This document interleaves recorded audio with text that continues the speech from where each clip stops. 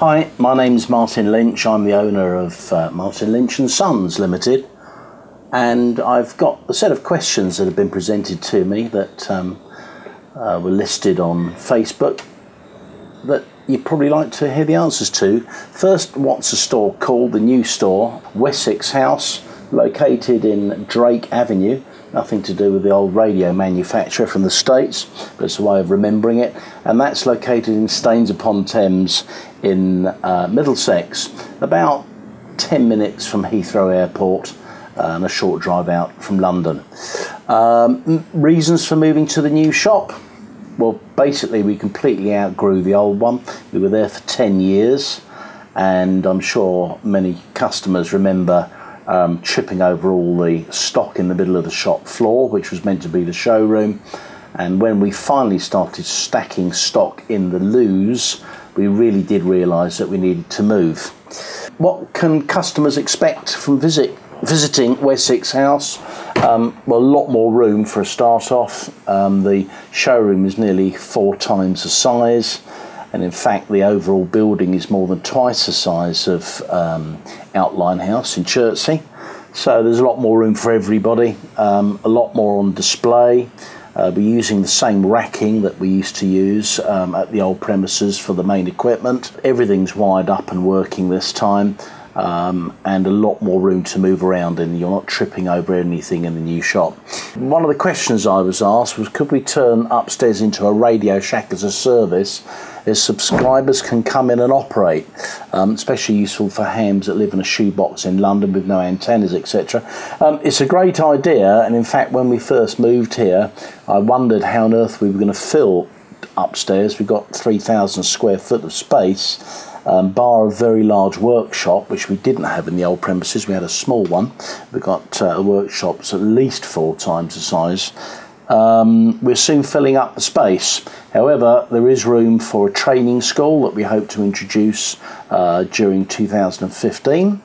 Uh, and um, there may be a demo station, I'm not sure yet. Uh, we've got so many, uh, such a huge range of equipment on demo downstairs, but I understand the uh, the question about a dedicated uh, radio station for use. In fact, another one, uh, another question was, we have internet cafes in the UK, as we have all around the world. What about a radio ham one? Uh, and that's actually a ham radio one. That's a very good idea. Um, see a, a, line of um, stations where you put a pound in the slot and use. Interesting idea and I'll certainly take a, a note of that one. Um, the decisions to start stocking DJI drones and seeing if we're going to move into that market. Um, yes, we uh, do still stock DJI uh, and other uh, drone products. It'll never take over from ham radio because I always wanted this to be a, a dedicated ham radio store. Um, so you will see DJI in the background, but it certainly won't play a prominent part. Uh, another question in house training uh, for all levels of licenses. I've already addressed that one and hope to move forward on that subject during 2015. Um, looking at sales figures, would I say the hobby is still thriving? Um, well, it's certainly still thriving at Martin Lynch and Sons, and I think generally the rest of the trade in the UK are happy with the level of business. Obviously, it dipped massively um, when uh, the recession came, uh, but in the last uh, couple of years, we've definitely seen an upturn uh, in the business, as I think most retailers, good retailers, have. Uh, bad, bad ones in any market have fallen by the wayside, um, and it just makes the ones remaining are possibly doing the, the job properly even stronger. My favourite cheese, that's a strange thing to ask. Um, haven't really got one like good old English strong mature cheddar, but I, um, quite like other cheeses as well. Um, a Baofeng's going to kill the hobby. Um, not really, no. That's all I'll say on that subject. Um, how would Martin run the RSGB? Uh, not that I'm saying there's anything wrong with it at the moment, just to be interested in his views. I think the, the RSGB do an excellent job uh, under difficult circumstances.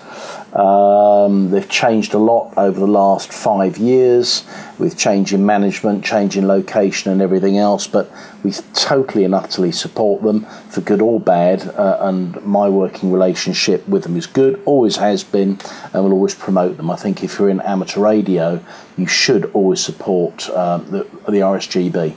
Some of you will disapprove, but uh, I think the bulk of us agree we need uh, a body in this country to um, promote and um, look after our, our brilliant hobby.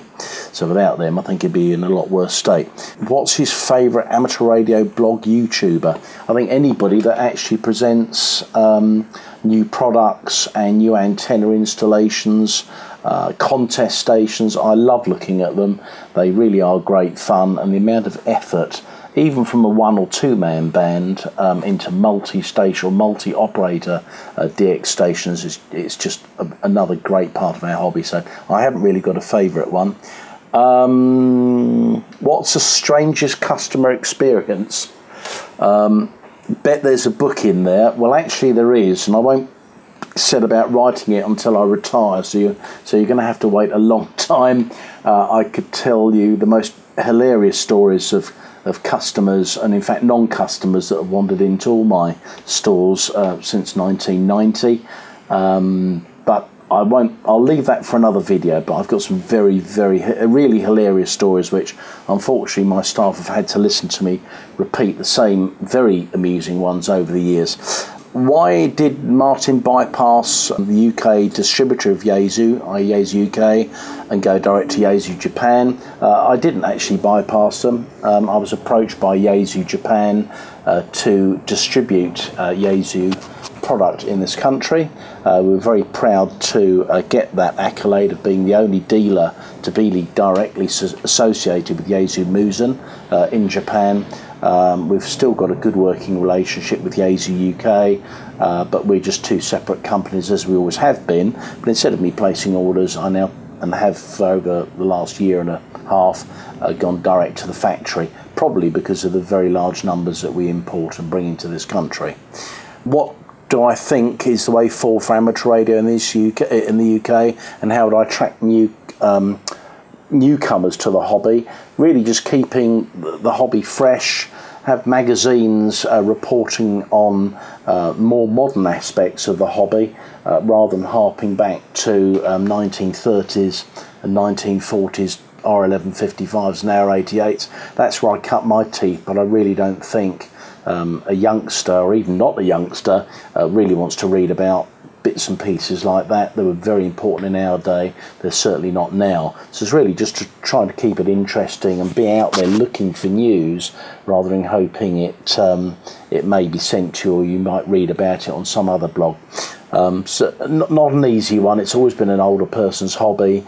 Um, I think uh, I'm still involved in the hobby, not a, as a profession, but as a radio amateur because I love radio as a method of communication. Uh, many years ago, you didn't have what we've got now, and it's that much more difficult to, to get newcomers in, of course. Uh, brown or red sauce and bacon rolls, brown every time.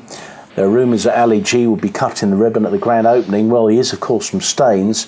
Um, I don't know whether he's busy or I think he was last seen repairing his Ford Cortina. Live 1,000 year life or 10 100 year lives? I've no idea. Um, you're on a desert island with a beautiful man or woman. Would you rather they were top half fish or bottom half fish?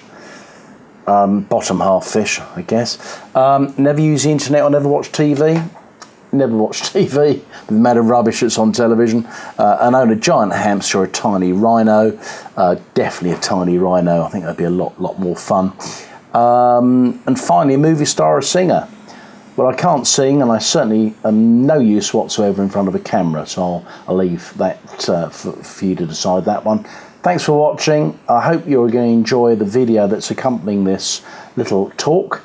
And thank you to my staff and indeed um, my younger son Henry, who's involved in media, and that's why he's taking this at this very moment in time. So, so hopefully see you in the shop because we're always here. Come and say hello. Open six days a week. You don't need appointments. Just pop in. See you.